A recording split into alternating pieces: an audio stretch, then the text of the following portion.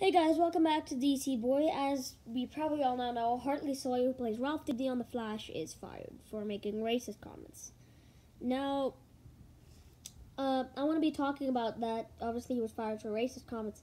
But what's going to happen with the Ralph Dibny and the Sue storyline? The Sue Dibny story, Sue Dearbon, whatever her name is at the show.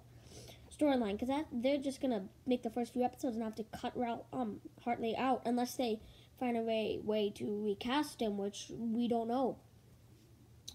But um, we're literally frozen right now. You can't do anything with these shows right now. Am I right? Can't do anything with them because of the COVID. So they have to finish the Ralph storyline, but they have to recast him first. So how's all this gonna go out? They're just gonna edit Ralph's scenes out of the first episode. That'll be a shorter episode then.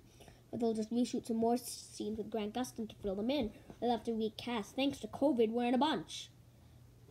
We don't know anything that's gonna happen with Ralph yet. Maybe he's gonna I think he will get recast. I don't know. Maybe they just kill him off. Maybe they they just use the footage they filmed with him and then just edit a scene of him dying, like they kill him off. Eva kills him or something to get Iris out. I don't know, but Hartley's not staying on the show. He got fired, so we're gonna have to figure out something new. Some Flash. Anyways, that's pretty much it for this video. Bye. And there's no big question today because it's not that kind of video. Anyways, bye.